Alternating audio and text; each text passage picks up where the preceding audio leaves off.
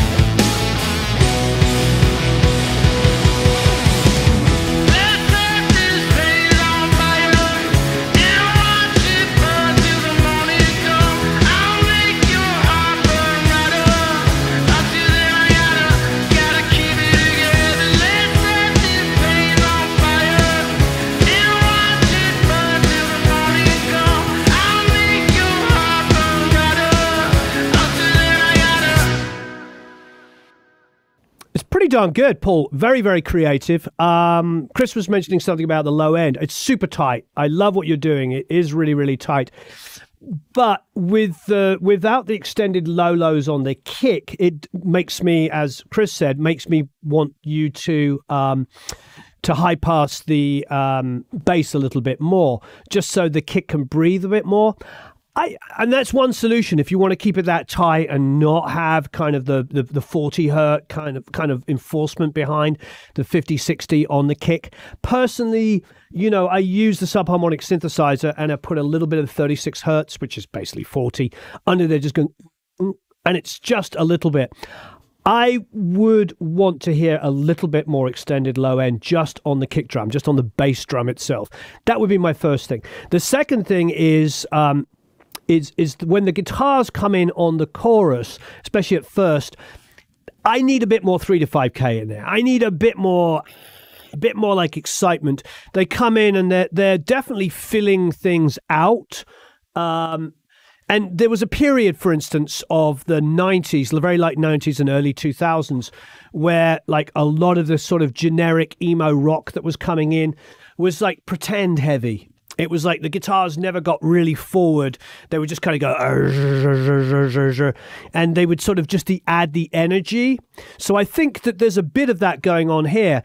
And I don't mean it in a negative way. I think that the heavy guitars come in on the chorus and they don't take it to like metal, which is not what this is about. This band is definitely more of um, Kings of Leon for a start.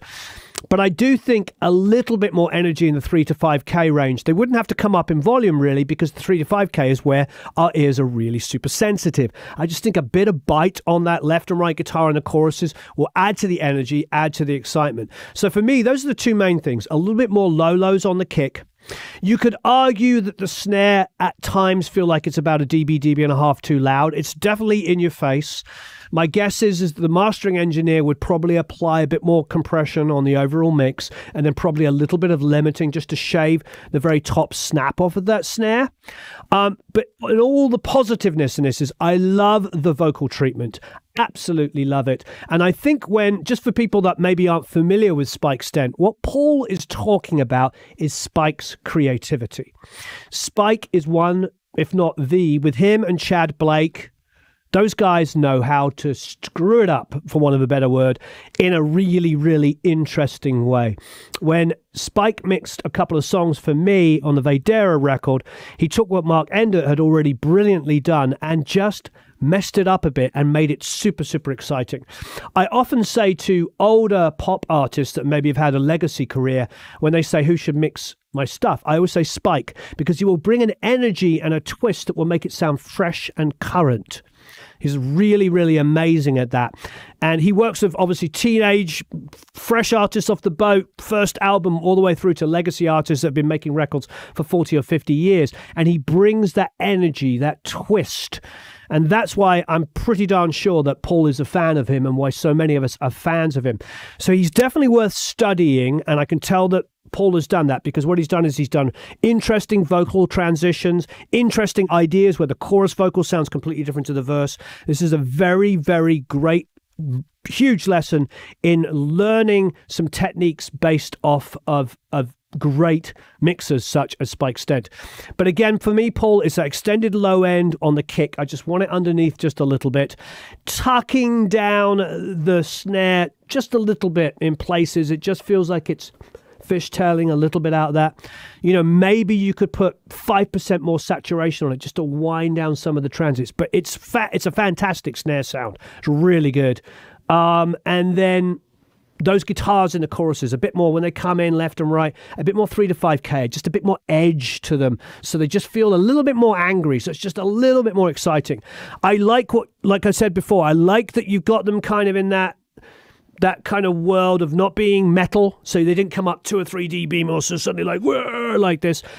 I think you're doing the right thing because it is a Kings of Leon style thing, um, but just a bit more edge to them. And that will obviously make them perceivably louder because that's where, once again, our ears are most sensitive. Great mix, great thinking, and a great lesson for us all to listen to inspiring mixers like Spike Stent. Thank you very much. All right.